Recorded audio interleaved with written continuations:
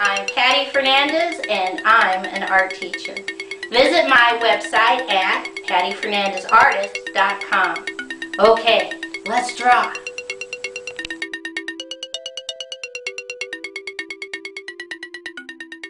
Today's project is drawing the California state flag.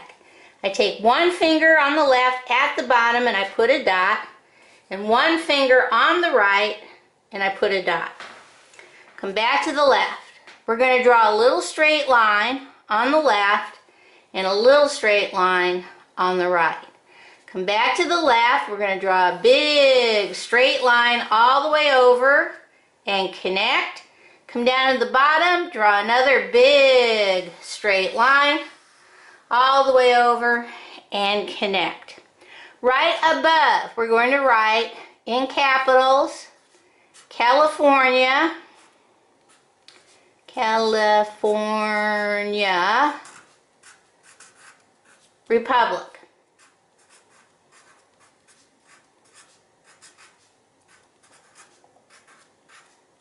Okay, now come up to the middle.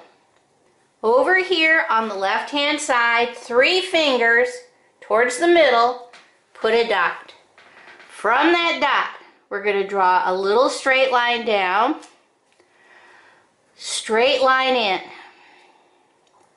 curve line down,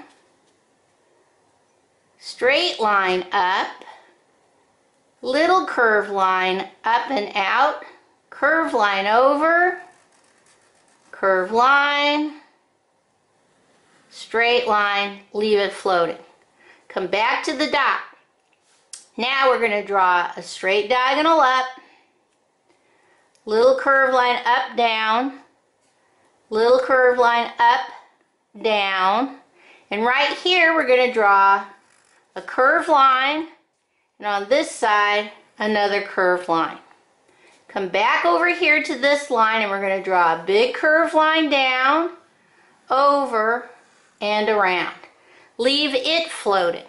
Alright, come back over here. We're just going to draw a straight diagonal down and connect. We're going to come back up right about midpoint. We're going to draw a curved line down, out, straight line, up, little curve line over, right about here, curve line down, curve line down, straight line, up, and connect. Right behind here, we're going to draw a straight diagonal down, straight line, curve line, straight line, up. This is floating, just add another little curve line. Come over here on the right, little curve line down, over, connect. Now, we've got to come about midpoint and we're going to draw skinny mini, a curve line, jump over, jump over, jump over. We're going to put some little straight lines, five, one, two, three, four, five, one, two, three, four, five, and now some wavy line, two, three, four, five. Okay? Come back over here on the left and we're just going to put a curved line, color that in black, put a little curved line, leave that in there, and come right about here and put a dot. Okay? Come all the way over up here on the left, put a dot. We're going to go straight diagonal down on the left, straight diagonal down on the right, straight line out on the left, straight line out on the right, straight diagonal down on the left, straight diagonal down on the right, straight diagonal out on the left, straight diagonal out on the right, straight diagonal up, down, and connect. Okay, let's see how we're going to color this in. Okay, first thing we're going to do, color in this big rectangle down at the bottom. This should be red. Solid red. Not like I'm doing it, but solid red. All the way over. Okay? Then the next part you need to do is going to be this red star. So this should all be red. And you will do a way better job coloring than me. Then you come down and in his mouth, this little section, this is red. That's his tongue. Okay. Now, he has some very, and I'm talking about this bear, he's got some very colorful shading going on. So with my dark brown, I'm just going to put some loop-de-loop -loop around his eye, loop-de-loop -loop around his mouth, his chin, that's this section, little bit on his ears. We're going to triple color this guy, so come up and do his top part of his body, bring it on down to this big old leg. He's got some in here. His feet have dark brown, so bring some here, some here, some here on his foot, on all his feet really, and some back here on the bottom. Okay? Put his tail. And the shading, we're going to do a couple of times.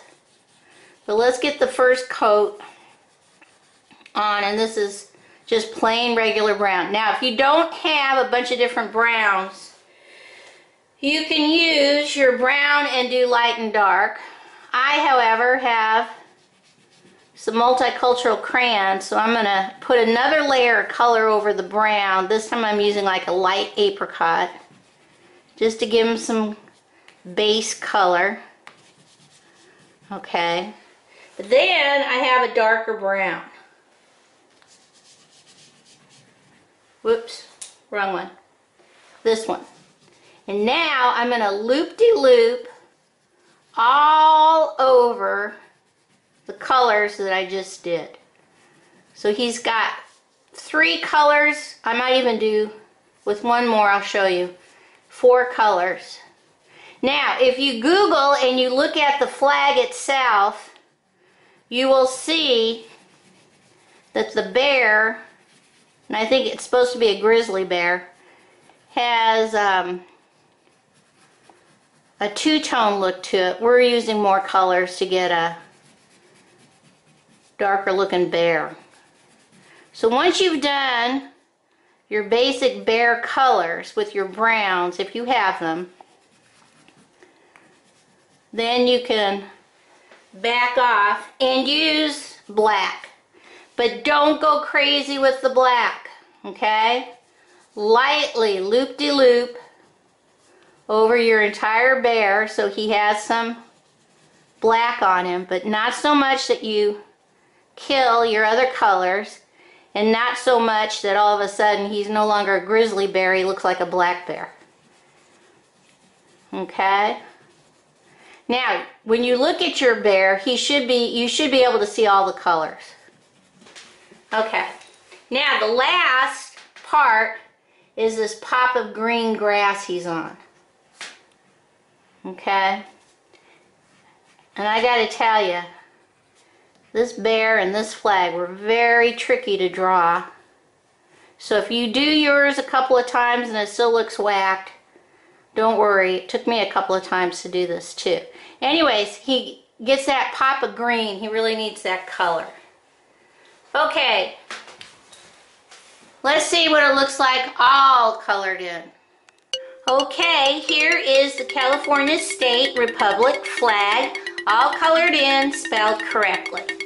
Okay, bye-bye.